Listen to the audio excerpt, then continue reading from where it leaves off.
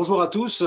Euh, c'est la grande journée ce soir puisque l'empreinte, euh, le film euh, réalisé en partie par Alexandre Renoux et surtout par Florian Gomet, qui a réalisé un exploit juste hors du commun, qui continue de me, questionner parce que c'est vrai qu'il chamboule tout, ce petit garçon qui, court comme un fou furieux, qui a traversé l'Europe en plein confinement, qui a fait plus de 3500 km pieds nus en courant plus d'un marathon par jour, sans argent, sans passeport, en allant frappant, aux portes pour, euh, pour demander l'hospitaliser en ne mangeant que des fruits et des légumes crus.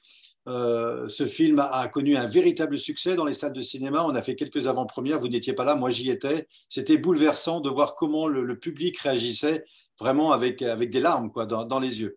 Alors euh, aujourd'hui, on a décidé de, de, le sortir en VOD pour le rendre accessible au plus grand nombre. Et en fait, on a été poussé un petit peu à le faire parce qu'au départ, je voulais vraiment le sortir dans plus d'une centaine de salles de cinéma. Euh, et, quand j'ai vu cette polémique, mais vraiment, mais j'ai pas de mots pour la qualifier, euh, qui est venue d'une personne qui s'appelle Clément de l'extracteur et qui a été reprise euh, par la suite par ben, toujours les mêmes, hein, Tristan Mendes et autres. Je voulais savoir d'abord avec Maître Anne Victoria, racontez-nous racontez comment vous avez ben, comment vous avez vécu cette affaire et d'où c'est parti exactement.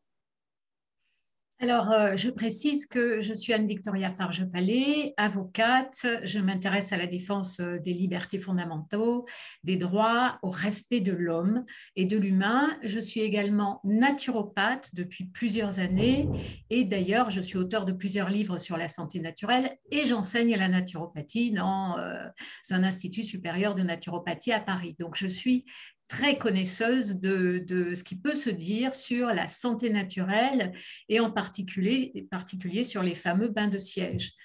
Donc, euh, à partir du, 22 août, euh, soudainement, il y a eu une avalanche d'articles sur euh, Irène Grosjean, mais qui ne visaient d'ailleurs pas qu'Irène Grosjean, qui visait d'une manière générale la naturopathie et les techniques de naturopathie, d'ailleurs en mélangeant tout et n'importe quoi, des techniques de naturopathie qui sont reconnues comme des techniques de la naturopathie, et puis euh, d'autres techniques euh, qui sont euh, inventées comme étant des techniques naturelles de la naturopathie, mais qui ne le sont pas. Et j'ai été vraiment choquée par les termes extrêmement violents et forts qui étaient utilisés contre Irène Grosjean, que bien évidemment je connais depuis longtemps parce que dans le cadre de ma formation de naturopathe, mmh. on ne saurait éviter les enseignements euh, d'Irène qui sont extrêmement connus depuis très longtemps et dont l'efficacité a été vérifiée dans maints cas, même si ce n'est pas systématique, parce que on ne peut pas toujours réussir, mais très souvent. Donc, euh, euh, quand, euh, quand j'ai vu tout cela et que Irène et, son fils m'ont contacté pour travailler sur ce droit de réponse, bien évidemment, j'ai accepté immédiatement. Parce que quand les droits de l'homme sont respectés, ne sont pas respectés ainsi que cela a été fait, vous imaginez que l'on a traité Irène d'atteinte sexuelle sur bébé, même sur, euh, dans certains magazines et certains, euh, certains sites de viol sur enfants. Enfin, mais comment peut-on euh, porter de telles accusations sans qu'il n'y ait pas le moindre début ni de fait donnant naissance à, ces, accusations qui sont pénale et répréhensible pénalement, sans qu'il y ait la moindre procédure pénale. Tout ça parce qu'on a extrait euh, euh, une vidéo qu'elle avait effectuée sur euh, les bains de siège à friction de Louis Kuhn en 2018 probablement ces journalistes n'avaient rien à se mettre sous la dent, c'est ce que j'ai pensé, pour qu'on fasse une attaque, pareille. Mais j'ai surtout pensé qu'on allait faire et que c'était une attaque à la naturopathie d'une manière générale. Et d'ailleurs, euh, je suis euh, en tant que, présidente de la PHN, une association de, promotion de l'hygiène vitale et de la naturopathie. Je milite au sein d'un groupe qui s'appelle le collectif naturopathie, dans lequel sont les plus grandes instances de naturopathie de France, c'est-à-dire euh, la, la, PNF, l'OMNES, l'AFENA qui regroupe neuf écoles des plus connues et des plus sérieuses de France, le syndicat de la naturopathie, naturopathie. Euh, et donc, euh, nous sommes cinq, les plus importantes de France, à, militer pour la défense de la naturopathie et surtout démontrer que cette naturopathie, elle est structurée, elle est organisée depuis très longtemps, que nous nous entendons tous ensemble pour aboutir à sa reconnaissance de façon à ce que, euh, effectivement, elle n'est pas reconnue aujourd'hui et n'importe qui peut s'installer comme naturopathe. Mais par contre, ceux qui sont installés comme naturopathes et à qui on poserait la question où avez-vous été formé À quelle organisation appartenez-vous? Là, il y a un gage de sérieux et de sécurité, puisque toutes ces organisations et ces écoles, elles forment en 1200-1300 heures, avec du présentiel, avec des stages, avec après une formation continue, avec un code de déontologie, euh, avec euh, des, des, euh, des, vérifications, des assurances, et je peux en parler parce qu'en tant qu'avocate, j'ai négocié les assurances des naturopathes, donc assurance responsabilité civile, assurance responsabilité exploitation. Donc, on ne peut pas dire tout et n'importe quoi. D'autant que la naturopathie, elle est reconnue dans énormément de pays, quasiment tous les pays d'Europe, qu'elle est euh, véhiculée par euh, l'association la, euh, internationale des, la Fédération internationale de la naturopathie, qu'il y a des études scientifiques, plus de 2000 qui ont été faites sur les, effets et les, les, raisons pour lesquelles certaines des techniques de naturopathie fonctionnent bien et une des techniques de la naturopathie, c'est l'hydrologie, c'est-à-dire qu'on se soigne par l'eau, que ce soit mm. euh, l'eau froide, l'eau chaude, l'alternance eau froide, eau chaude. Et, Irène vous parlera mieux que moi des bains à friction de cune, mais il n'y a pas un seul naturopathe qui ne préconise pas pour baisser la température ou pour remettre en circulation euh, des toxines les bains de siège. Voilà, donc devant cette injustice, sans que la personne visée puisse répondre, je me suis mobilisée. Très bien, donc on va, on va savoir si vous avez porté plainte. Ah, jusqu'à maintenant, il n'y a aucune plainte, vous n'avez reçu aucune plainte de personne concernant non, aucune plainte pénale, il n'y a aucune plainte pour, euh, contre Irène Grosjean pour euh, attouchement sexuel, incitation à attouchement sexuel, complicité, etc. Moi, je, connais bien, on est en train de faire une, série sur, sur, la pédocriminalité. Alors, il faut savoir que donc la pédocriminalité, on, sait ce que c'est. Enfin, moi, j'en ai vraiment un, petit aperçu aujourd'hui. Alors voilà la, vidéo litigieuse. Alors Irène, pour les fièvres, tu nous as parlé des bains de Le bain de siège à friction de Louis Kuhn, qui a écrit un livre, c'est un naturopathe du siècle dernier.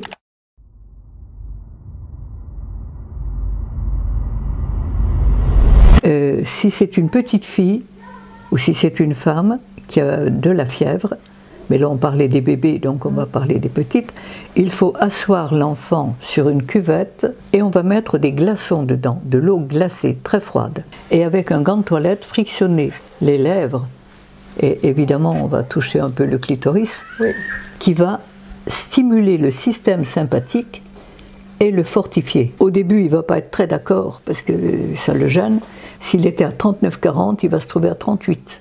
Et il va avoir envie de dormir. Et pendant qu'il va dormir, son corps va utiliser son énergie pour évacuer ses résidus. Il va se réveiller, faire pipi caca, la fièvre va remonter, on refait un bain de siège, et en deux ou trois bains de siège, toutes les fièvres les plus importantes n'existent plus. Et le corps de l'enfant a évacué l'acide qu'il voulait évacuer alors qu'avec des anti-inflammatoires et des médicaments, on a empêché le corps d'éliminer ces résidus et on l'a obligé à les refouler et à les enfermer dans ses humeurs.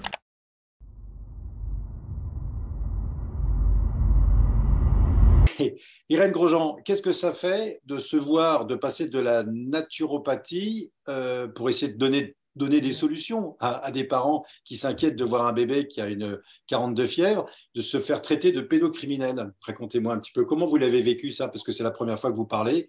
Racontez-nous, euh, Irène. Comment je l'ai vécu? Eh bien, d'abord, ça ne m'a absolument pas touchée. J'ai vu, je n'ai pas lu tous ces articles, j'en ai vu un petit peu, mais je leur laisse, je ne les accepte pas parce qu'ils ne me concernent pas. Et comme ce qui ne me concerne pas, ça va leur retourner, c'est à eux de s'en débrouiller avec. Hein Mais moi, ça m'est tout à fait égal. Il faut, avoir une, il faut avoir une belle capacité pour, pour réagir comme ça. Ben, ça ne m'a pas touché du tout.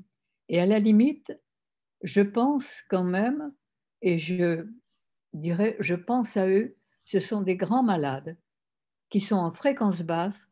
Tout est on dans ce monde.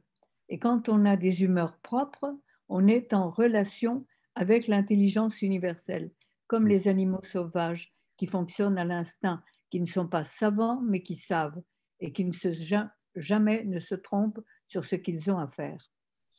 Alors. Irène Grosjean, ah, Irène Grosjean allez-vous quand même poursuivre ces personnes pour diffamation ou, intenter une action en justice ou non, vous vous laissez, vous, vous laissez tomber? Sûrement pas.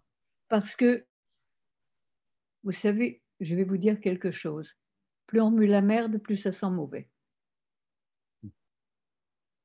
Je n'ai pas, et la lutte et le combat sont des comportements de guerre qui ne peuvent faire que de nouvelles victimes. Alors je ne combats pas. Je pense que l'extracteur, je pense qu'un être propre ne peut pas salir quelqu'un.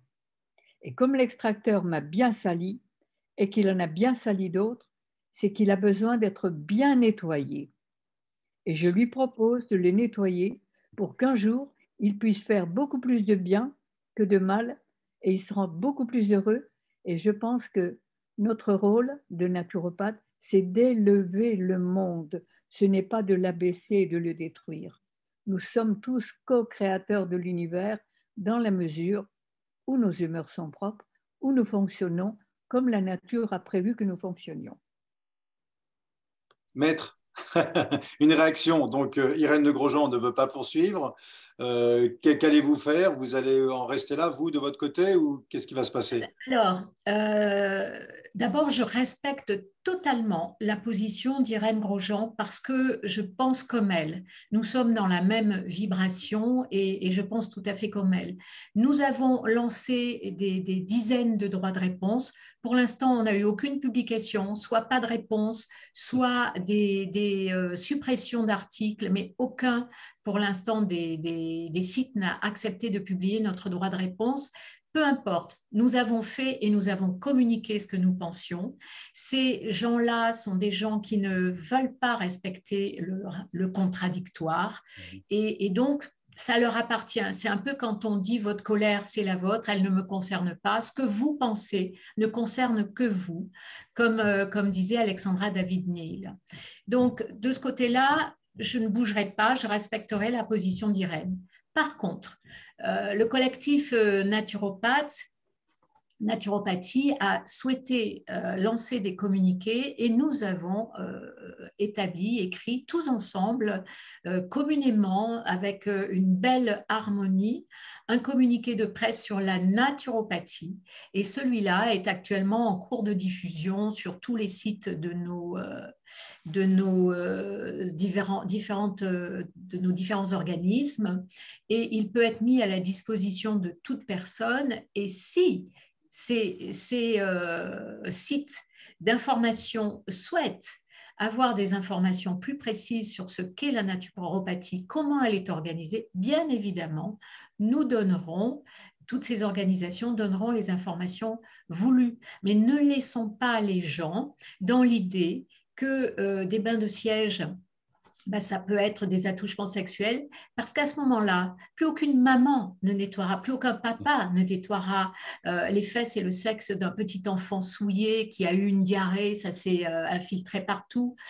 Plus aucune aide soignante n'aidera une personne âgée à le nettoyer parce qu'il va falloir frotter ses parties euh, génitales, parce que là, on a un risque de le poursuivre pour euh, attouchement sexuel, mais où est le bon sens de la vie, vraiment? Et je peux vous dire, je suis avocate de très nombreuses euh, soignantes qui sont suspendues, et quand elles me racontent, parce que beaucoup sont en burn-out, quand, elles me racontent ce qu'est leur vie, leur vie du quotidien à, à, aider et à prendre soin et à nettoyer toutes ces personnes âgées, je peux vous dire qu'elles ne pourraient plus du tout exercer leur activité.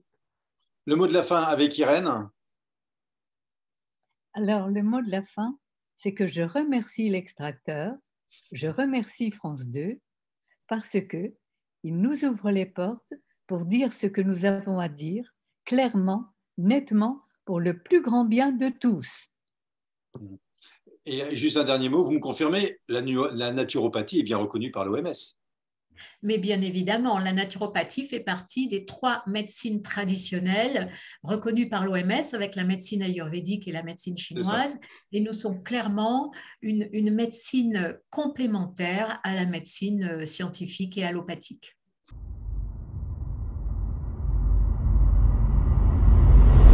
Un immense merci. Pardon? Je pourrais dire quelque chose? Avec plaisir. Hippocrate, qui se dit que l'on a dit, que l'on a pris pour le père de la médecine, disait quoi? Le premier naturopathe, c'est Hippocrate. Il ne disait pas, il disait aux malades que ta nourriture soit ton médicament et ton médicament soit ta nourriture. Et il demandait aux médecins d'aller à la cause des causes des causes et de guérir sans nuire. C'est mm. exactement ce que fait la naturopathie. Absolument. C'est très vrai, tout à fait. Immense merci à toutes les deux. Merci beaucoup. L'empreinte, c'était ce soir. Et merci d'avoir été là. Et euh, voilà, plein de belles choses. Et, vive la vie. Vive la vie. À très bientôt. Merci, merci. Merci, au, revoir.